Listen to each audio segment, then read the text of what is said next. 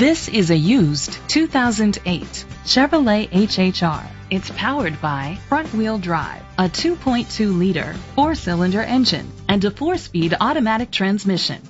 The features include digital audio input, steering wheel controls, an adjustable tilt steering wheel, an alarm system, cruise control, keyless entry, a trip computer, an MP3 player, privacy glass, air conditioning.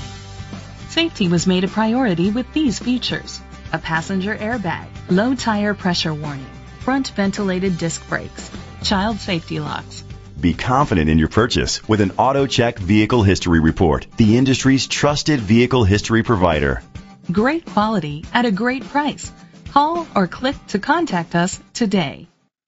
Koons Sterling Ford is dedicated to doing everything possible to ensure that the experience you have selecting your next vehicle is as pleasant as possible. We are located at 46869 Harry Byrd Highway, Sterling, Virginia.